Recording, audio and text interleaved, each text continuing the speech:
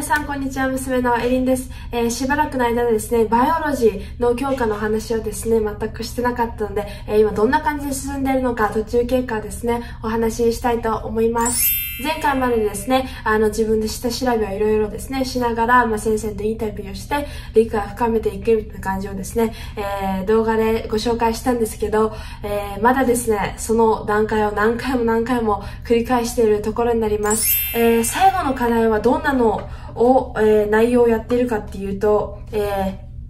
ー、ナーバスシステムというですね、神経のお話を今、えー、学んでいます。全く今始めたばっかりなので、今何をまず話してるのかとか、神経ってまず何なのか、見えるものなのかとか、あの、もう全くわからない、もうハテナ型ですね。今たくさん頭の中に浮かんでいる状態になります。いろいろ Google とかですね、あの、PDF の教科書をですね、こうやって見ながら、えー、やっております。中にはですね、もう、この一つの課題を終えるだけにですね、この動画を何本も見たりとか、もう繰り返し同じのをですね、見たり、あとは Google でもう一つ一つのですね、単語を調べながら、えー、進めていっているところになります。えー、このですね、教科の何が難しいかっていうと、ちょっと他の学校はわからないんですけど、私の学校の場合は、日本でいう教科書だったりとか、問題集とか、これを覚えてきてねっていうものが、用意されていないんですね。こんな感じで、えー、PDF でですね、何を調べなきゃいけないのかっていうですね、リストがここにバーっと挙げられています。これはですね、結構大きいあの単元なので、たくさんあるように見えるんですけど、私が今やっているラーニングガイド、えー、単元のですね、えー、一つのクエスチョンからいくとですね、えー、Central Nervous System について明確にしなさい。調べなさいみたいな。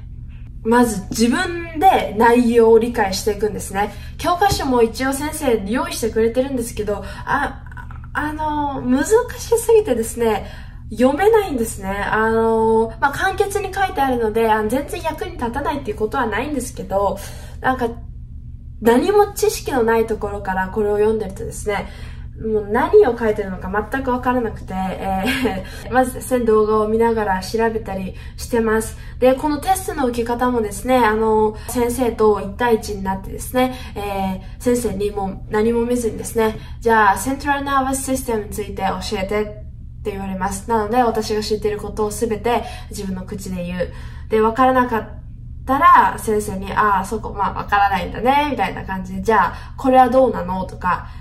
なぜそのシステムが必要なのとか、どうそれは動くのっていうですね、えー、細かい質問を1対1で、えー、先生にされます。あの、すごくですね、そのインタビューすごく緊張するんですけど、先生との仲も深められて、あの、コミュニケーション能力もすごく上がるなと思うので、えー、すごく役に立つ教科かなと思います。えー、他にもですね、あの、心臓、サーキュレーションシステムってことですね。えー、静脈だったり、えー、動脈、そして、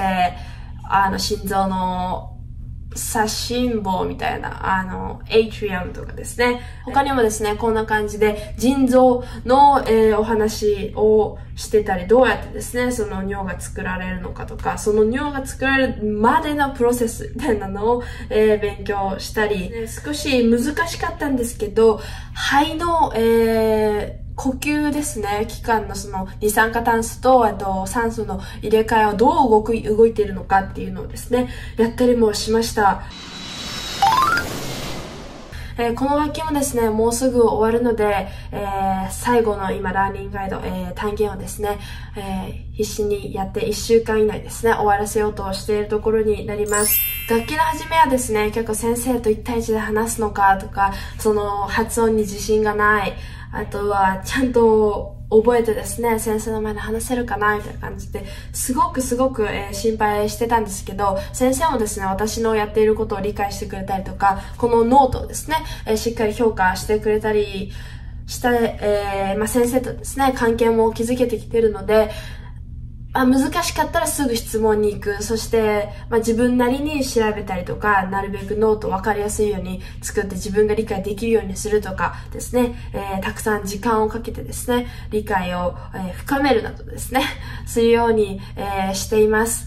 この動画がいいなって思った人は、ぜひいいねボタンとチャンネル登録をお願いします。そして LINE アットに登録してもらうと、皆さんからの個別の質問やご相談に、留学パパが無料でお答えしています。